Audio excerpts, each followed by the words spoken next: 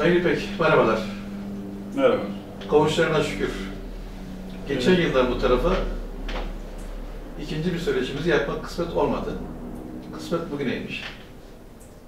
İstedik ki 33 yılınızı bitirdiniz. Dolu dolu bir meslek olarak. 2017 34 yıla girdiniz. İstedik ki e, size gerçekten bir e, mesleki cevher var. Her ne kadar geçen e, yıl yapmış olduğumuz röportajda bir kısmını ortaya çıkarmış olsak da istedik ki 2017 yılında bu cevherin de bir kısmını işleyelim, ortaya çıkartalım dedik. E, istiyoruz ki e, mesleki anlamda hodri meydan dedik. Siz de sağladınız ki hodri meydan dediniz. Ve bugün 1 Nisan karşı karşıya geldik. Diyorum ki e, günümüz şartlarda Mesleğin ve meslek mensuplarının geleceğini nasıl görüyorsunuz Sayın İpek? Evet. Öncelikle hoş geldiniz diyorum. Yine bir cumartesi günü e, bizlere e, teveccüh buyurdunuz geldiniz. Öncelikle sizleri de e, 34. 35. yılınızı kutlayacaksınız. O manada Teşekkür ederim. e, kutluyorum. Zannediyorum yakında siz söylemeseniz de açıklamasını yaparsınız herhalde. Bir e, e, yemekli bir e, yıl dönümüyle bunu e, e, deklare edeceksiniz. İnşallah E, bu zamana kadar ki e, olan meslek yani hiyerarşisini e, başlangıcından bu zamana kadar bizden çok daha iyi e, bildiğinizi e, en azından ben biliyorum. Estağfurullah. E, burada e, bir anlamda bütün meslektaşların e, bir yerden bir yere yani bir hiçten diğer hiçe doğru yol alması gibi bir e, zamana baktığımız zaman yani zaman mefhumunu hiçten hiçe olarak aldığımız zaman bizim bu e, devirde geldiğimiz nokta e, nedir ne değildir? E, sizin de e, kendinize göre yorumlamanız, e, görüntülere almanız, sesli ve görüntülü olarak e, bu camiaya vermeniz de zaten ortada. Bizim e, 89'da kanunu çıkıp da 90 senesinde uygulama alanına e, geçen 3568 sayılı yasayla birlikte e, serbest muhasebeci mali müşavirlik e, ve yeminli mali müşavirlik kanununda bir takım tabii ki yani yorulmalar, yorgunlaşmalar, bir takım tembellikler artık yani atalet içinde olmaya başladı.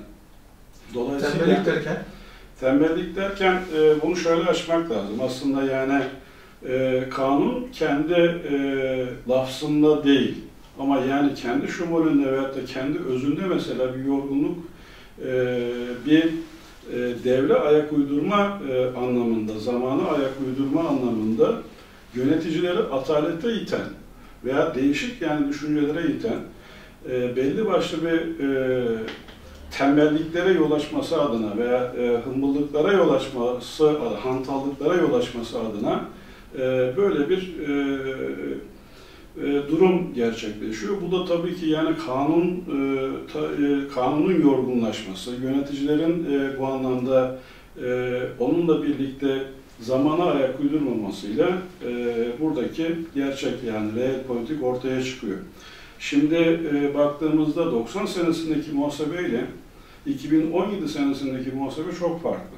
90 senesindeki dünya ile e, 2017 senesindeki e, dünya çok farklı. Yani belli bir e, elektronik kayıt sisteminden e, gelmesi, bilişim sektörünün e, oluşması ve 4.0 sanayi devriminin oluşmasıyla muhasebe sektörünün konvert olduğu yani e, değiştiği e, pozisyonu görebilmek bize öncelikle yöneticilerden sonra da e, bu mesleğin kanaat önderlerinden gelmesi gerekiyor.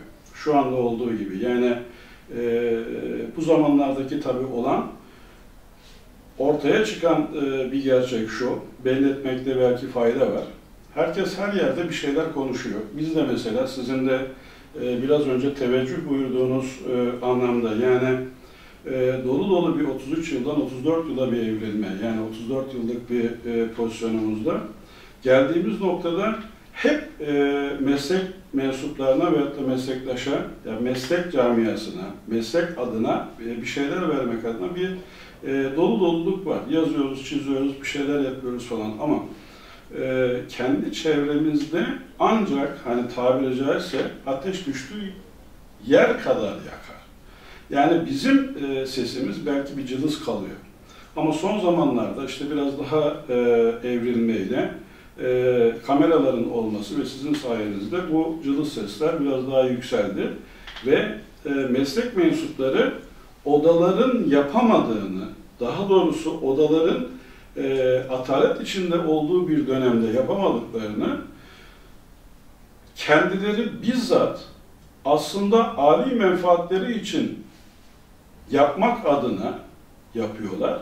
Ve fakat oradaki yani kendi âli menfaatlerini e, öne çıkararak yaptıkları her işlem dolayısıyla bütün meslek mensuplarına e, paylaşım olmuş oluyor. Yani onlara da e, kapsar e, vaziyete dönüşüyor. Bunun örnekleri e, mevcut. Yani e, belli bir şekilde baktığınız zaman e, şu andaki mesela e, işte nispi aidat pozisyonunun e, olması yahut da diğer anlamda sendikasyon e, bir takım mesela pozisyonlarda e, mücadeleler yahut da e, COSGAP'teki bazı mücadeleler veyahut da e, yine bilindiği gibi haksız rekabetteki bazı mesela gelişmeler dikkat edin hep kişisel e, çabalarla ortaya çıkmış ve yapılmış olan e, durumlar. En son e, bizim mesela TÜRKAK'taki, Türk Akreditasyon Kurumu'ndaki mesela çabalarımız e, kendi e, menfaatime değil ama e,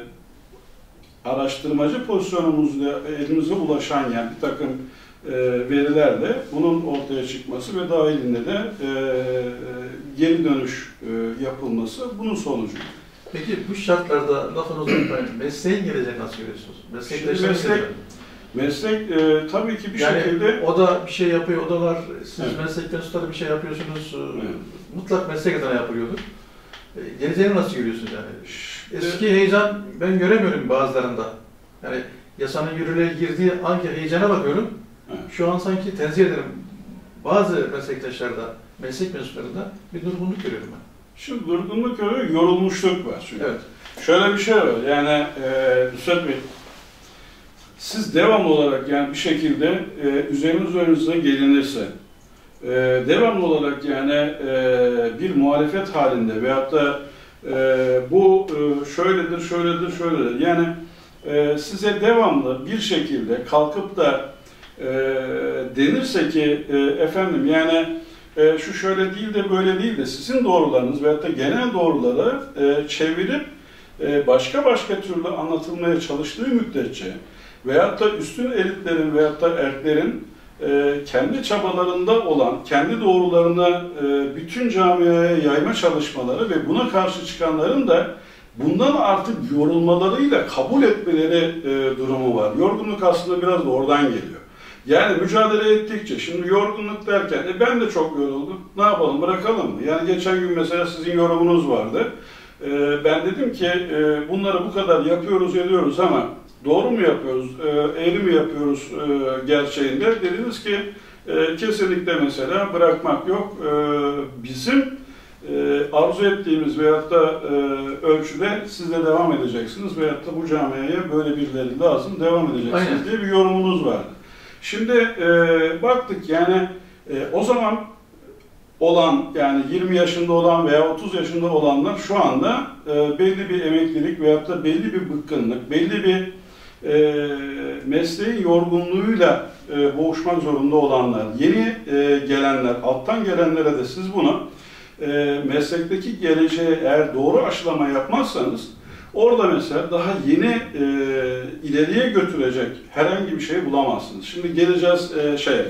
Yani 100 tane patron mu yetişsin veya atıyorum mesela 100 tane 100 bin tane e, mali müşavir mi yetişsin yoksa o 100 bin tane mali müşavir bir araya gelip de mesleği yüzde bir ileriye mi götürsün? Burada bir defa bizim e, doğru politiği, doğru reel politiği koymamız lazım. Yani bizim içimizde 100 bin tane işte efendim e, işte mali müşavir çıkmış. İyi, kötü, güzel her neyse. Yani e, belli bir sınırlar dahilinde ki bu sınırlar 3568'de mesela e, çepeçevre e, alınmış ve ona da diyoruz ki yorgun.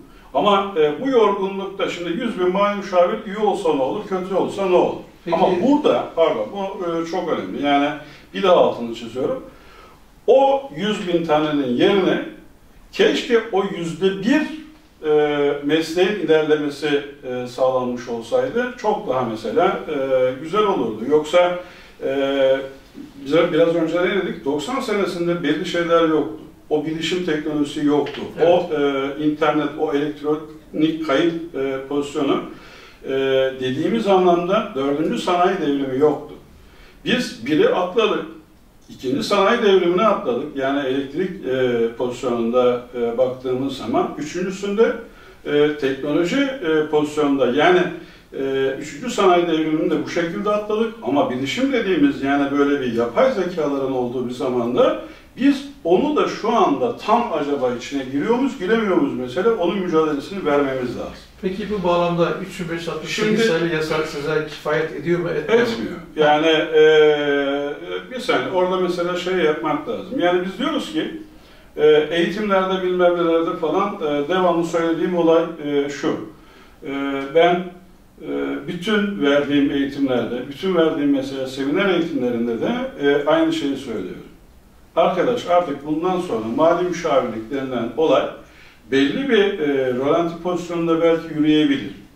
Ama siz vergicilik ve denetçilik üzerine mesela belli bir evrilmeyle e, ilerleme yapmanız lazım. Yani bunu e, bizim artık önümüzde bizi yönetenlerin yani e, onların bizim adımıza e, bunları öngörerek bizi o yönde eğitmeleri, sürekli eğitime tabi tutarak o yönde eğitmeleriyle dünyadan bir haber olacağımızı haberdar olarak mesela e, ö- bize öğretmeleri gerekiyor. Veyahut da ne bileyim o dünyadaki e, gelişimleri bize getirmeleri gerekiyor. Dolayısıyla da şimdi mesela ben soruyorum 2013 senesinde BEPS denilen bir olay var. Kim biliyor? Veyahut da atıyorum yani e, hani bu türlü bir e, şeyde baktığımız zaman yani e, işte e, son zamanlarda çıkan birçok e, kanunlar falan var. Geçenlerde bir tanesi bana şöyle bir soru sordu. E, hatta belki de e, sana